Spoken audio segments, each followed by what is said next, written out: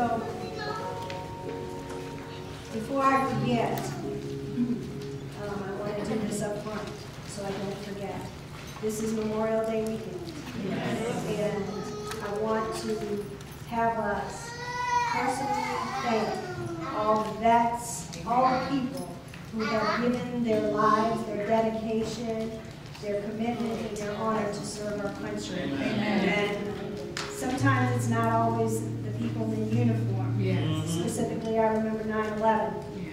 So it's not always the people in uniform. But I want to personally thank everybody that stands up for the good of our country, to protect our country. If we can give them a hand.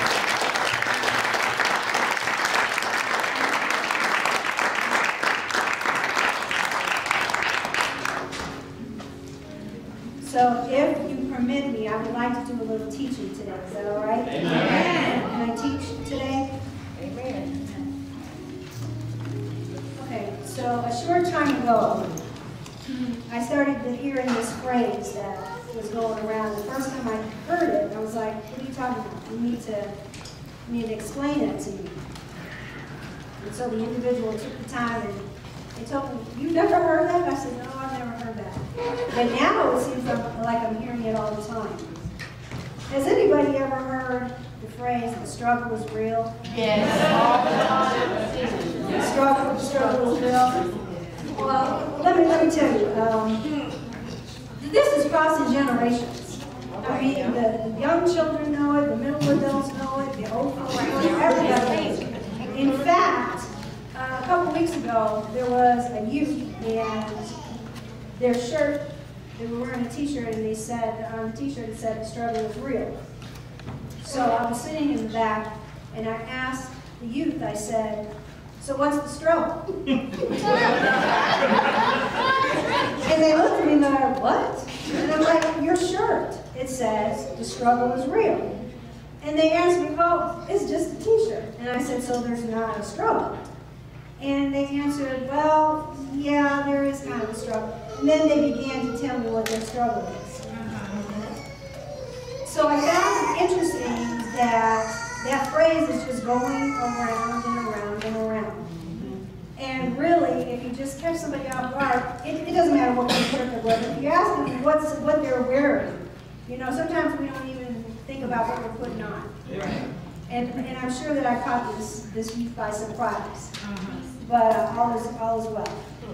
So I'm going to ask you today that if you had a struggle, anybody in here with a struggle?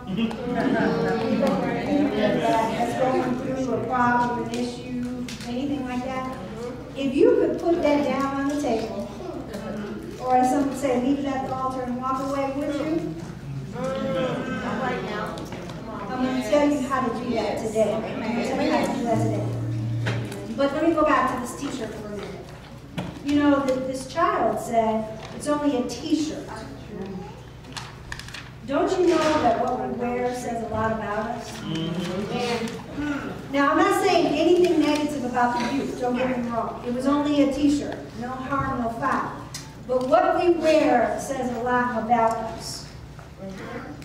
And I'm not talking about sometimes always our physical clothes. Amen. It's what we wear on our face. It's what we wear on our actions. Do you know that our outward appearance speaks to who we are? Amen. And sometimes more importantly, it speaks to who we're not. See now, if somebody gave me a shirt that said the struggle is real, this is what I would do. I would say on the front, the struggle may seem real, All right now. But on the back, Jesus is real. Amen.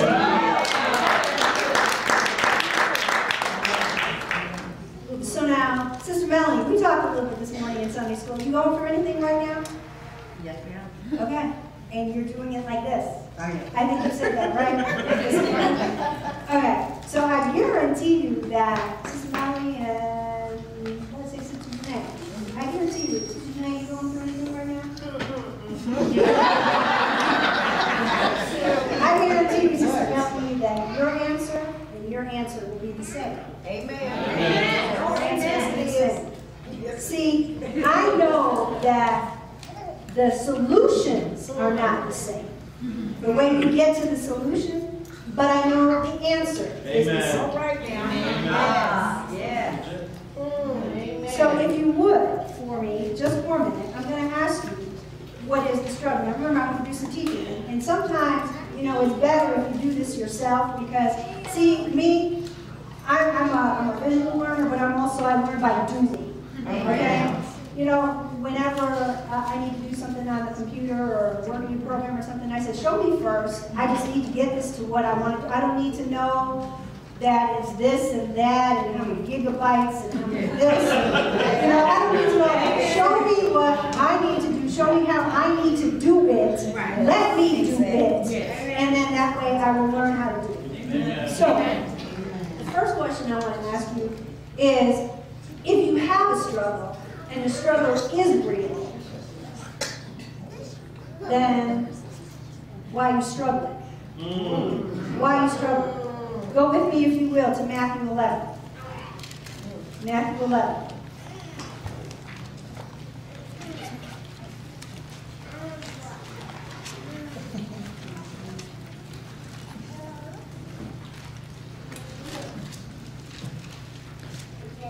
You all there? Amen. Matthew 11, beginning in verse 28.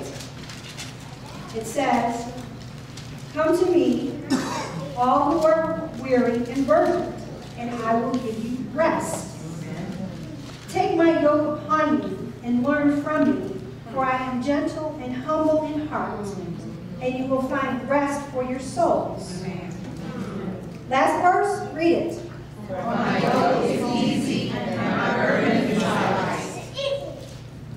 Why you struggle? Right. Amen. Why you struggle? You know, when we're going through something, it zaps our strength, it takes all of our energy, it makes us irritable. But why are we carrying? it? It says right here, bring it to the Lord and he will carry it for you. So if this is weighing on you and pressing you down, Amen. why not just turn it over? Mm, all right now. Now, there's something else I want you to note about the scripture. I don't know, my Bible, my Bible hasn't even read. Anybody Amen. else's Bible have even read? Amen. Okay, one person. All right. One person. Two, okay. This means that Jesus himself is speaking. Amen. Yeah. Amen. So, if I told you something and you wrote it down and you said, I said, and wrote down exactly what I said, it's like me speaking. Amen. And, and so you're saying, okay, what, what's the big deal? Because I want to tell you that this is in red, that means Jesus is speaking. Matthew wrote this down, pretty much recorded as Jesus said it to him. Amen. See, the reason why I think this is so important is because sometimes when people tell us things, we don't believe those things. Mm. Amen. But if it's in red, we have to believe it, right? Amen. Amen. But if it's in black, we should be believing it too. Amen. But if it's in red, it's coming directly from the source. Amen. But if it's in black, it's already coming from the source. Yeah. So, why are we struggling? Why don't we believe? Anybody heard this? Reasonable doubt? Mm-hmm. Maybe watching these shows on television and, and the lawyers or the judges or whatever, they, they start talking about reasonable doubt. Mhm. This is how uh, a lawyer would probably say it. If there is any doubt in your mind that my client committed this offense, Mm. committed this crime, Mm. you must find him not guilty. Y'all familiar with that? Amen. So my question to you is, if you have any doubt in your mind that God exists, Mm. any, any doubt, then you must find him being alive, being true, being real, and being ever present. You must believe that God is. If there is any doubt in your mind, the existence of God, any doubt, you must give him reasonable doubt. Amen. Make sense? Okay, so let me ask you this question. Has anyone noticed that as of late, there have been many messages, Bible studies, Sunday school lessons about faith? You ever notice that? Yes. Do you ever ask yourself why that is? Hmm. It's not a coincidence. It's not happenstance. It's not an accident. Let me go back, let's see, we're almost at the end of May, right? Amen.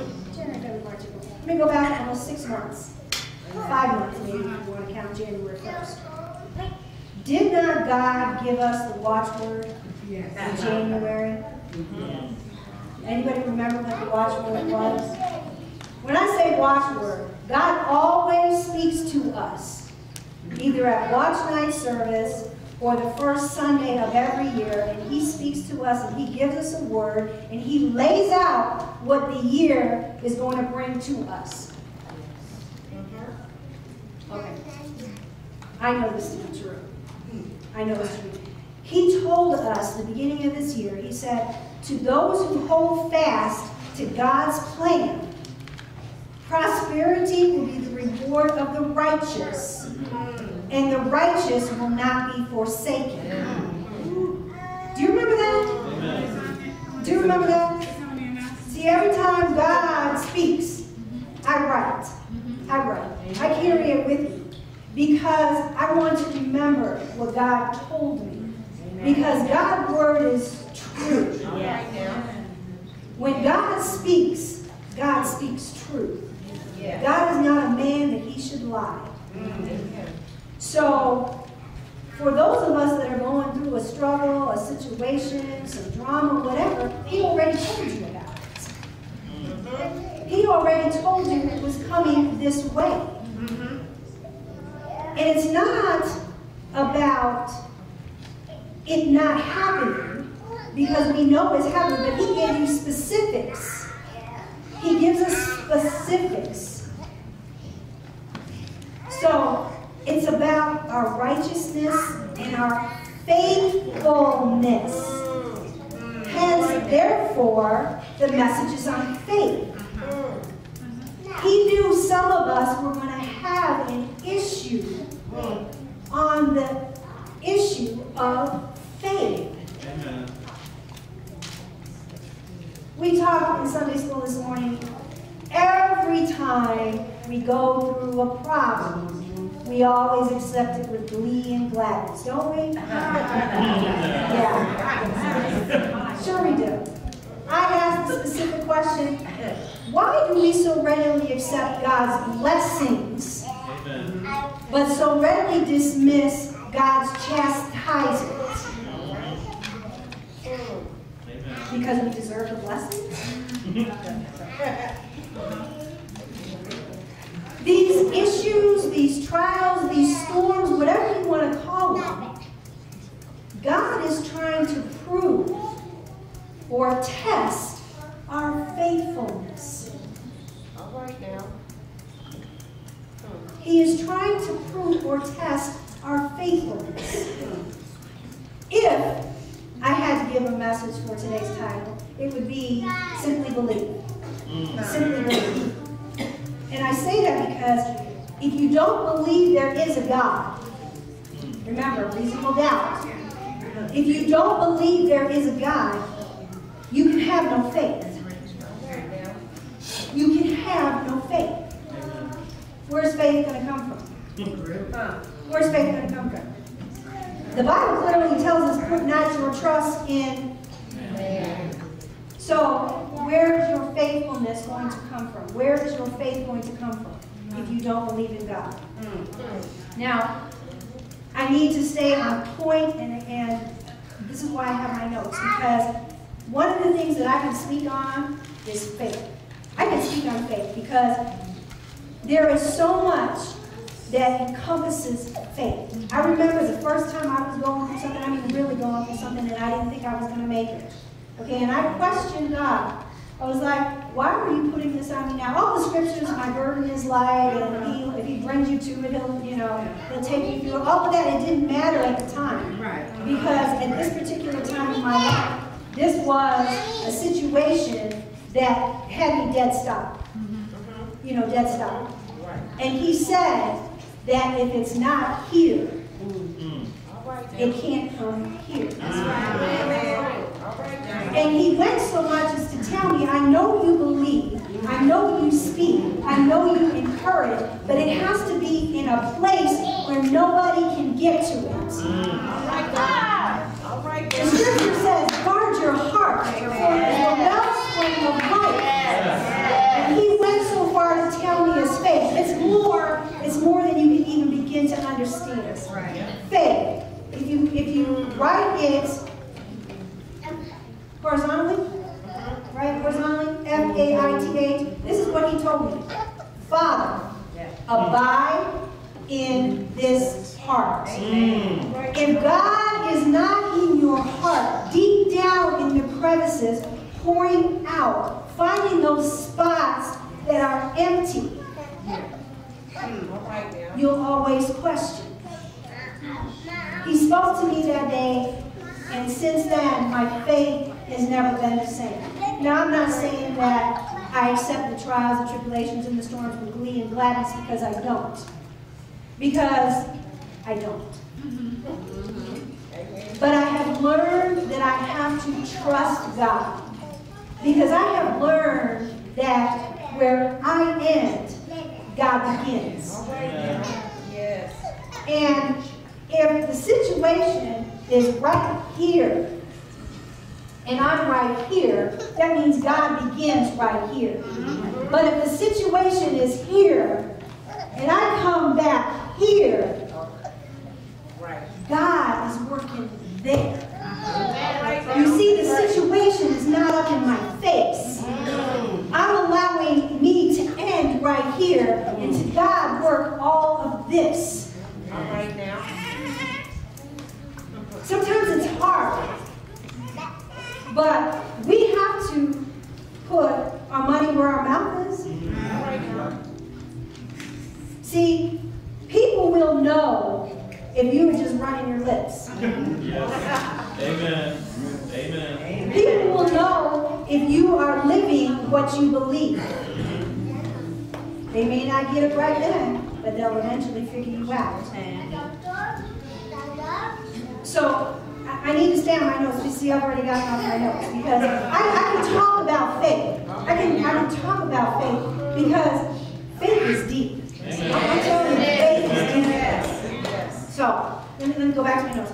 Okay, um, during the last several months, I spoke to a lot of different people, and the thing that I keep hearing them saying is, God isn't speaking to me. Mm. I, I can't hear him. God isn't speaking to me. I'm going through all of this. I'm praying, I'm asking, I'm praying, I'm asking, I'm praying, I'm going, I'm praying, I'm asking. God isn't speaking to me. Yes, He is. God is speaking to us through the situation. God is speaking to us. He is sending the storm to see if you can hear Him, if you can trust Him, mm. and if you can understand Him. I know, it sounds crazy, right? He's sending the storm so you can hear Him.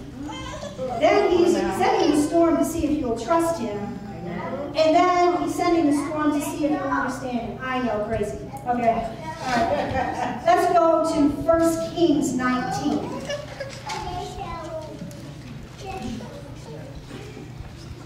First Kings 19.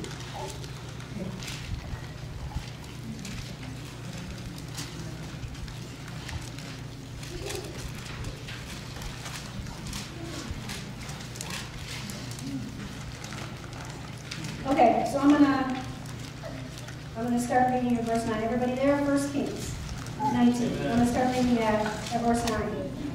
There he went into the cave and spent the night.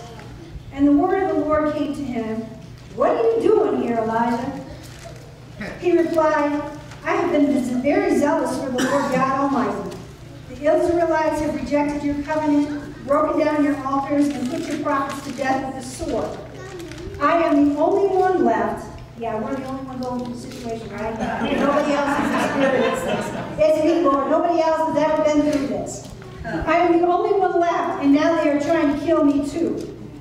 Then the Lord said, Go out and stand on the mountain in the presence of the Lord, for the Lord is about to pass by. Then a great and powerful wind tore the mountains apart, shattering the rocks before the Lord. But the Lord was not in the wind. After the wind, there was an earthquake, but the Lord was not in the earthquake. After the earthquake, there came a fire, but the Lord was not in the fire. And after the fire came a gentle whisper. When Elijah, what? When Elijah heard it, he pulled his cloak over his face and went out and stood at the mouth of the cave.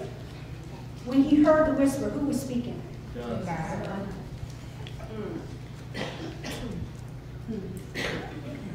God is trying to get our attention. But we're focused on the wind, the fire, the earthquakes, and everything else. God is speaking to us. But our focus is on everything else around us. Let me ask this. Has anyone ever heard the phrase, the eye of the storm? Amen. Do y'all know what it really means? I heard a no. But yet, we say, we're in the eye of the storm. Why are we saying that if we don't know what it means? It kind of goes back to the the t-shirt. What's your struggle? Okay, so let me tell you, meteor, meteor, okay. Weather-wise, weather-wise. Yeah, that, okay? Let me tell you weather-wise what the eye of the storm means. Okay? The eye of the storm. Often clear above the eye, and the winds are relatively light. It is actually the calmest section of any of the storm. The eye is so calm because now the strong surface winds that converge toward the center never reach it. The Coriolis, or that's the spinning force of everything that's going on, the Coriolis force deflects the wind away from the center, causing the wind to rotate around the center, leaving the exact center, the eye of the storm, calm. So let me give it to you like this. Biblically speaking. God is the center of your storm. All right. God is your calm. Amen. God is the eye of your storm.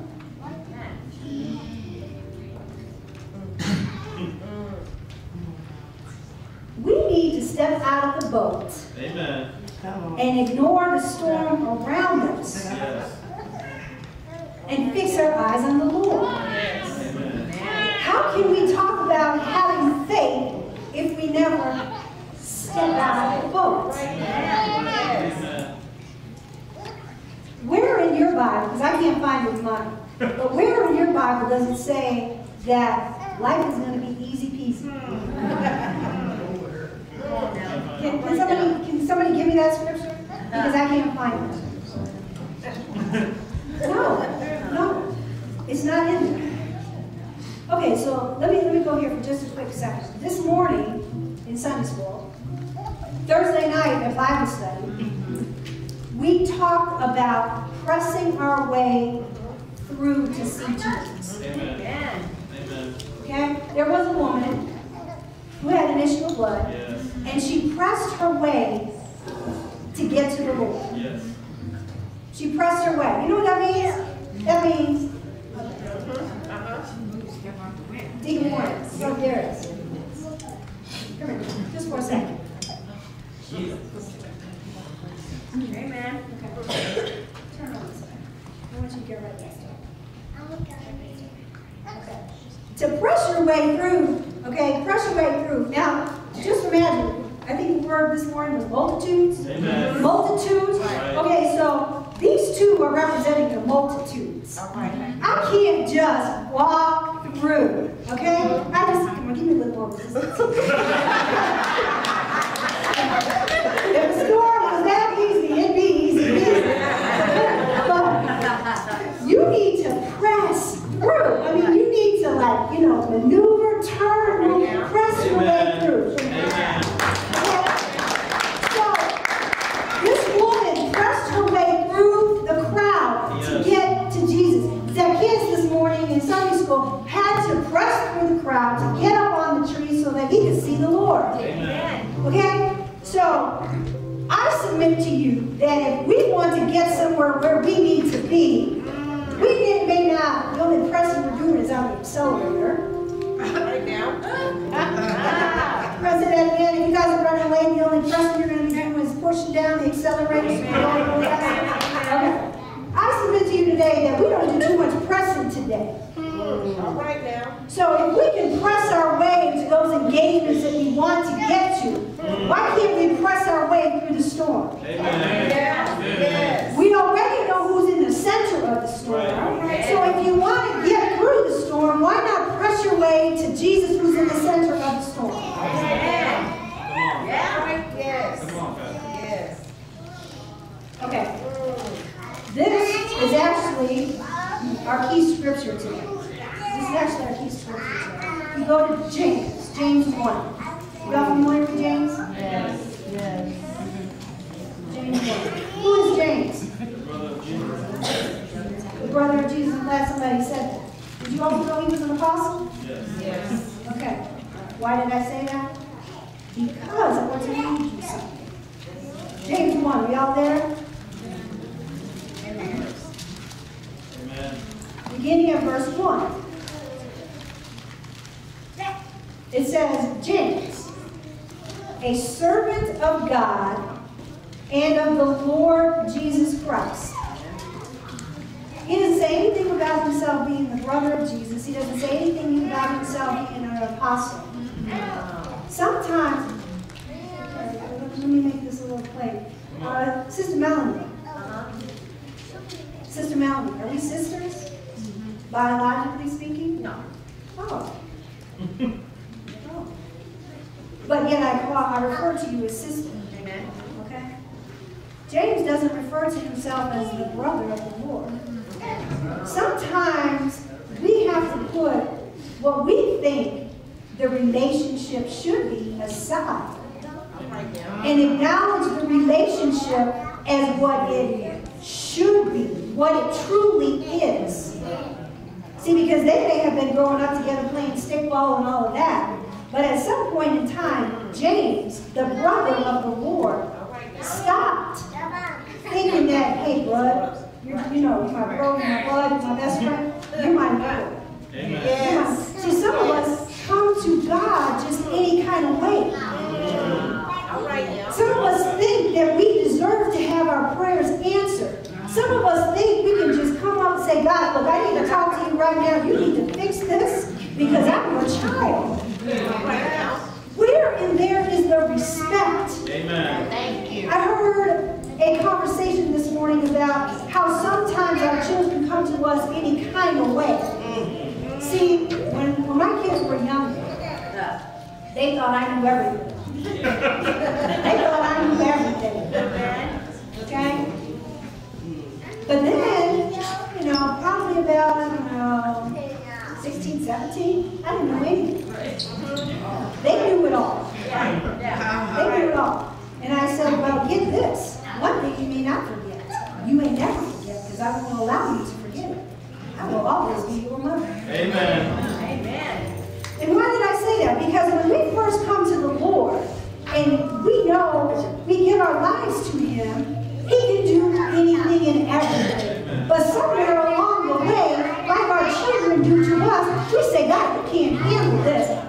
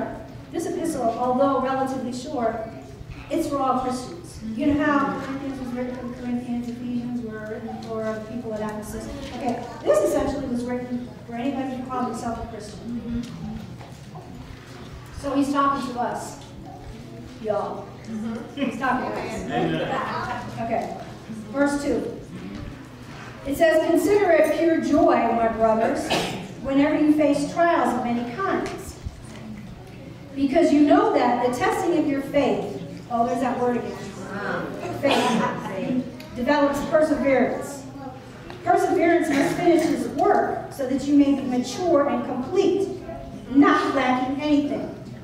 Verse 5. If any of you lacks wisdom, he should ask God, who gives generously to all without finding fault.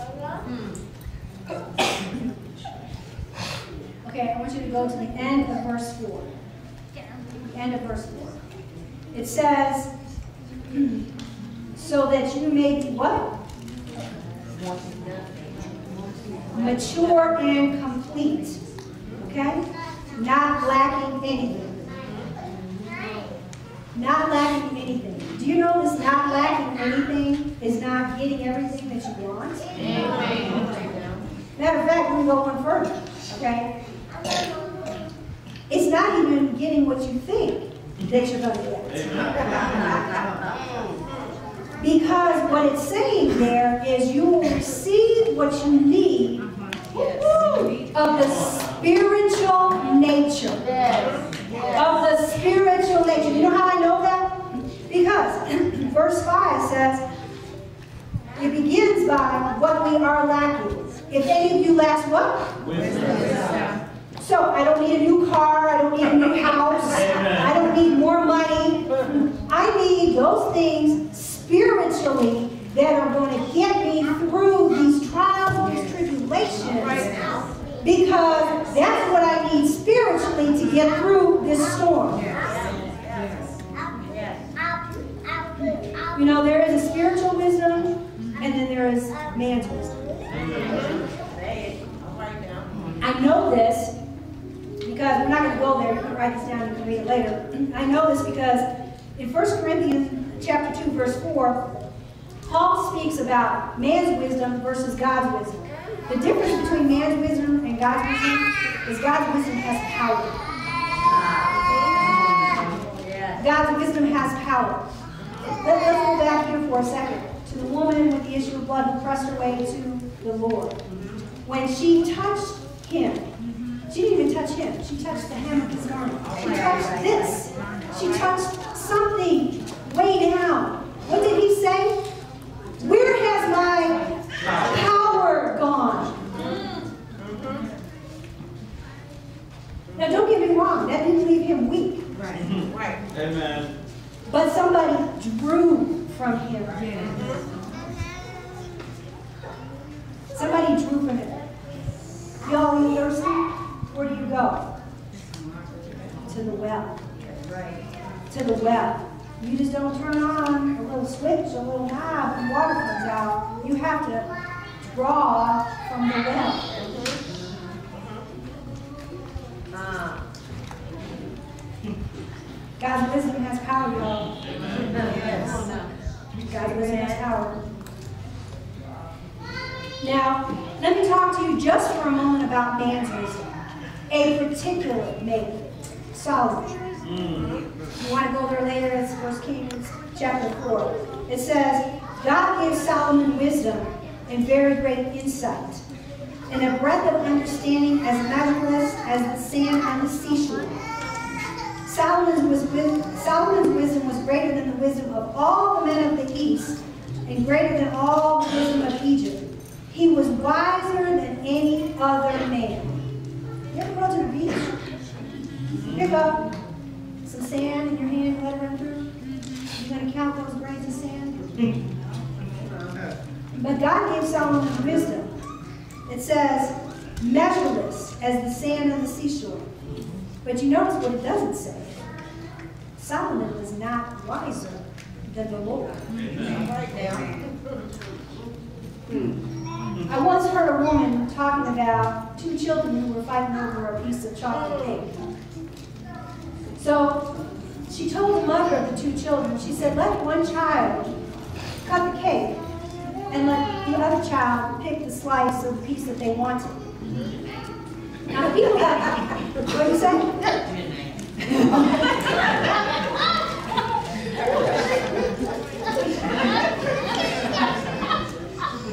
I'll, I'll with you after service. Okay, so the people that heard the story, they thought the woman was wise, very, very wise, full of so much wisdom. But you know, that was biblical wisdom. You know how I know that? I can prove it. Solomon said to the two women who wanted the baby, cut the child in half. Cut the child in half. See, this woman, she was biblically wise. Because I know the story. It first came from God who gave it to Solomon. So I can tell you that this woman read her Bible. So y'all want wisdom? Start reading the Word. Amen. Let me you this question. When was the last time you asked for wisdom?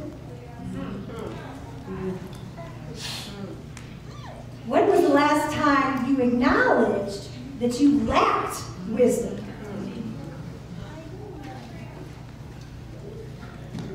There's different programs out there, 12 step, 10 step, 9 step, whatever, but the first step is usually the same. Acknowledging you got a problem.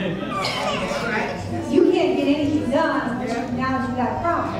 So I ask you again, when was the last time you acknowledged that you lack wisdom? Now, some of you may have just heard that, now we're done. No, no. No, that's not what I said. You are not, and I can't take this quote for myself because I didn't say it, but I agree. You are not always the smartest person in the room. Today, you might be the smartest person in the room, but change your audience, and you cannot always be the smartest person in the room. So, let me break down these trials a little bit for you. It says that we need to go through this so that we can be mature and complete. If we go through life without any problem, situation, drama, without any anything, where are we? We will never become mature unless we take the test. And if we fail the test, we have to retest.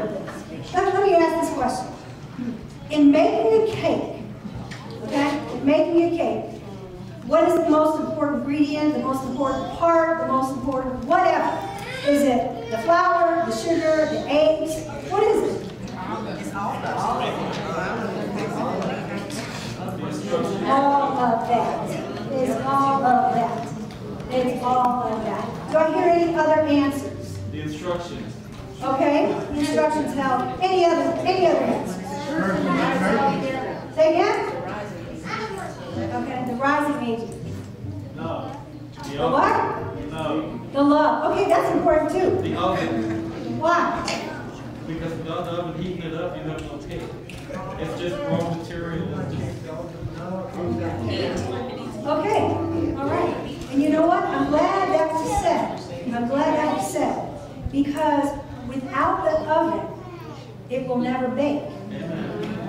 You'll just have a whole bunch of ingredients in the bowl. Okay, what the heck does this have to do with us? Right? The heat.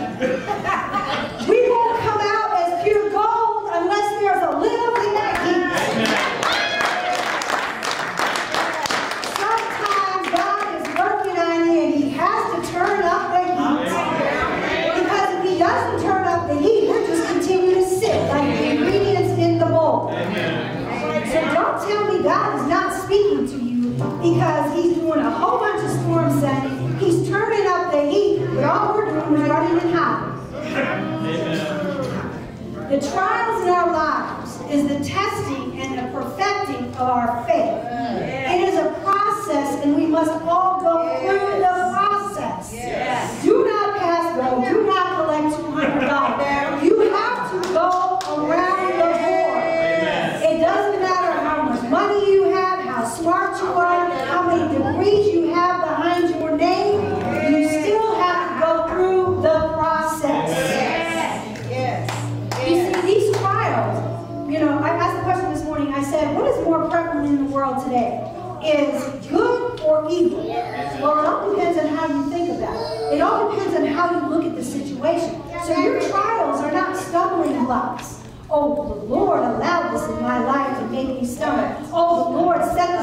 me to make me stumble. Oh, the Lord wants me to fall. No, he doesn't.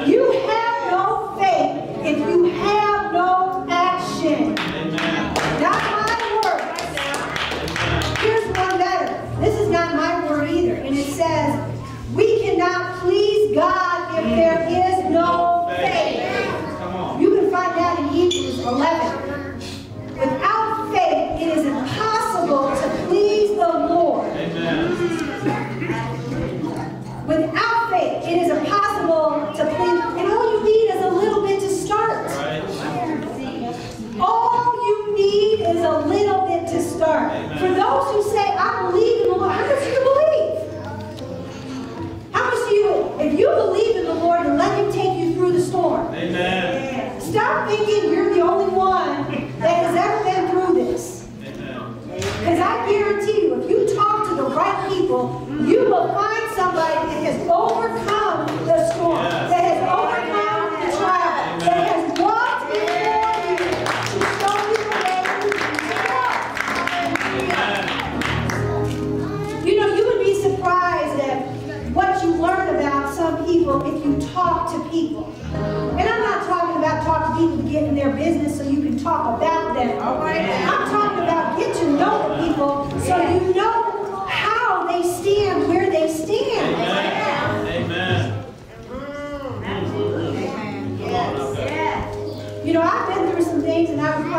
shock some of you about some of the things that I have done in my life? Because I know even talking this morning, none of you have ever had a problem with me.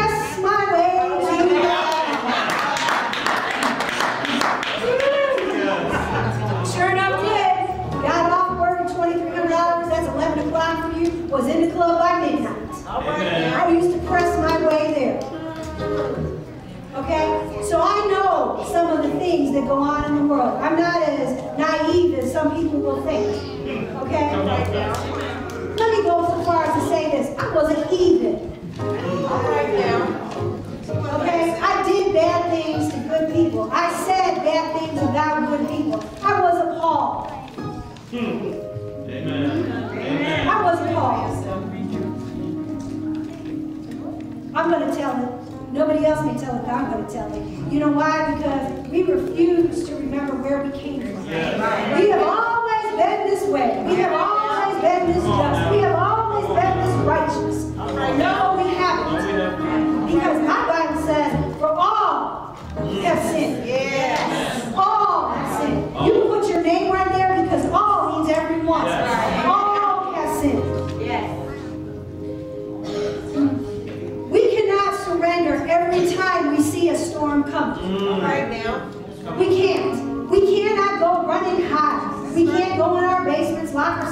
the bathrooms, go down in the cellar and close it out. We can't do that.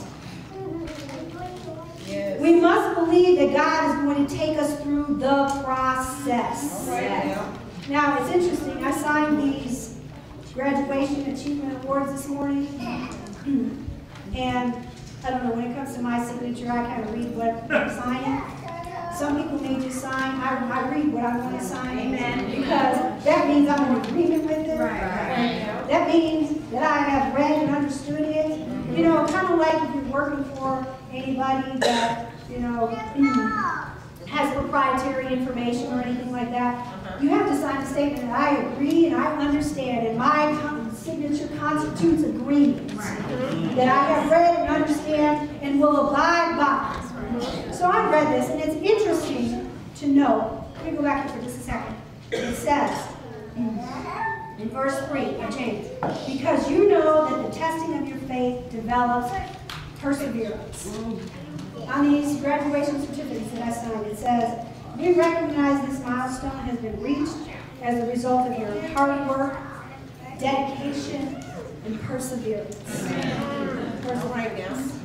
Now, I heard one person, at least one person say, it was hard. It was hard.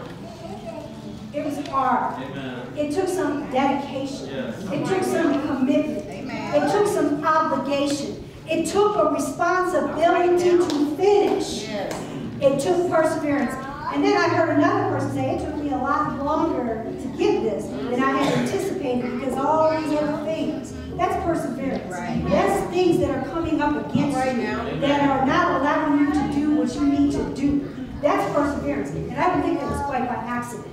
Because I'm going to tell you, for the people that have gone to the different grade levels, for people that have graduated from college and are going out for the first time in life, I'm going to tell you, even as you walk out of here now, there's going to be some things in your own life that you just have to persevere. And have to press your way through. Life is not going to be I will take these words back. If you can tell me if you can find me a scripture that says life is going to be easy. I will take it back. You have a responsibility to talk to your children, to talk to your spouses, to talk to your siblings, to talk to other members of your church congregation. Life is not easy. When somebody is coming to tell you, I have to tell you about a problem, don't say, oh, let me sit down and talk to you because I've never been through anything and I'm sure that this won't be nothing for us to get through. Tell them about your struggle. Amen. Tell them how good God is. Don't be silent. All right. Because I'm going to tell you, nobody got here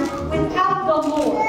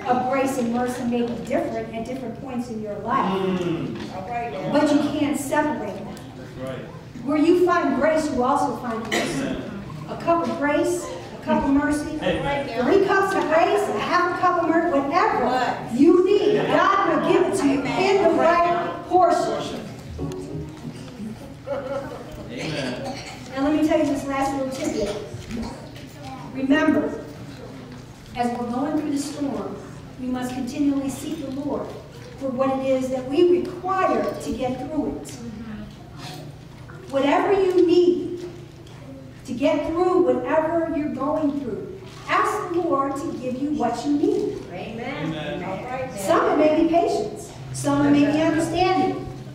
Some it might just be to listen. Some it might be wisdom. Whatever it is, ask the Lord for what you need. Don't don't be so so quick to say, Lord, let me get through this because I can't handle this. Well, you ain't handling it to begin with.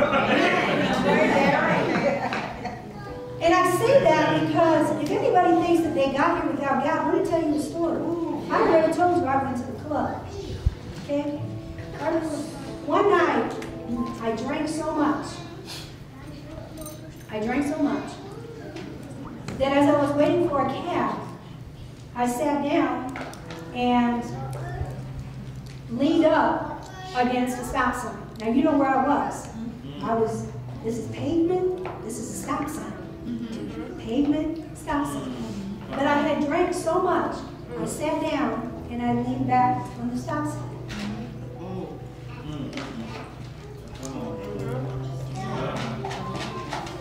I don't remember how I got home that night.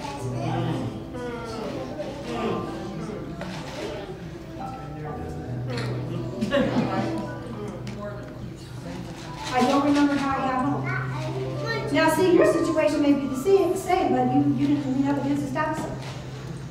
Okay? Some of you don't remember how you got home. Okay? But see, I'm telling my story because I know. I drank so much, waited for a cab, I sat down, because I was smart enough not to drive, right? Amen. So I sat down, leaned up against the stop sign. Next morning I woke up, didn't think anything about it. Didn't think about how I got home, what could have happened to me, the fact that I drank so much, the fact that I passed out. Nothing. I didn't think about none of that. I just went about my merry way, got up, took a shower, and I went to the store. And interestingly enough, hmm. as I was going through the line, I was paying for my stuff, there was a man behind me. And he said, how you feeling?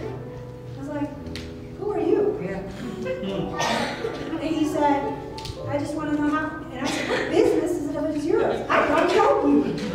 Remember, I told you I was a heathen. I talk bad about good people. I talk bad to people, okay? And, and he certainly was too old for me to, to be hitting on me. So I, I just, like, what concern is it of yours? Mm. Come on now. He proceeded to tell me, I'm the God who took you back to your place. I'm the God who took you back to your place. Made sure nothing happened to you. Made sure you got in safe. Made sure you were all locked up when I left. Amen. The next day, the next day, I could have been at that store at any time.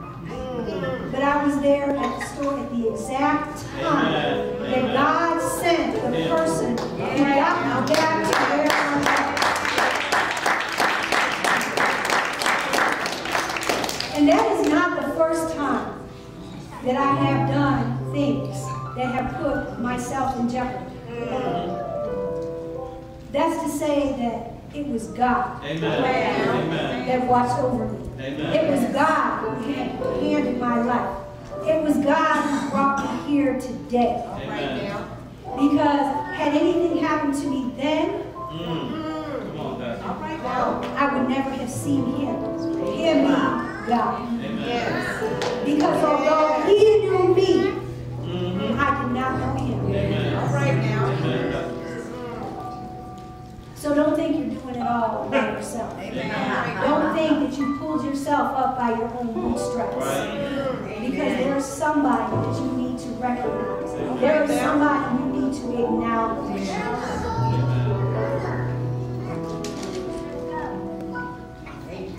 If you go back and you read the first chapter of James, I'm not going to talk about this, but if you go back and you read the first chapter of James, James will tell you some of the things that we are lacking.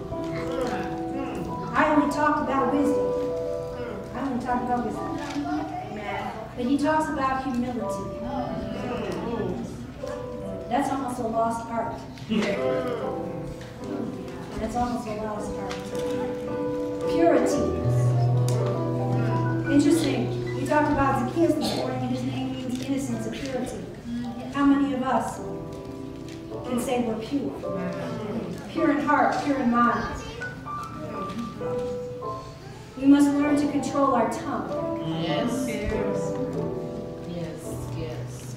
I read a different rendition of a scripture, and um, I want to say it was from the Living Bible or the Living Translation. It said essentially and it, reads different from King James, from Amplified, from NIV. It says essentially, don't open your mouth unless it will bring a blessing to someone. Don't open your mouth to speak unless it brings a blessing to someone. So we must learn to control our tongue. And this one I know is going to be stepping on somebody's toes, but it needs to be said. Amen. James said it, I'm going to say it. We must learn to separate ourselves from the world. Mm. Amen. See, our justification for being in the world is because I'm living in the world. But don't you know you need to separate yourself from the world? Yes. Amen. Amen. Some of your friends shouldn't be your friends. Come on now. Some of the people you hang out with, you shouldn't be hanging out with. Amen. Amen. Amen. And here's the deal. You want to know some good people? Find a good person and they'll introduce you to more good people. Amen. Who will introduce you to more- You can live in the world and not be a part of it. Amen. You need to live in the world but be separated Yes. from it. Amen. Another scripture you might make more sense to you. Either be hot or cold. Amen. Either be in the world or be out of the world. Amen. Make a decision. There you go. Amen. My closing point. The next time you see a storm coming, stay calm. Stay calm. Look the storm in the eye Mm. and smile. Because the storm will soon be over.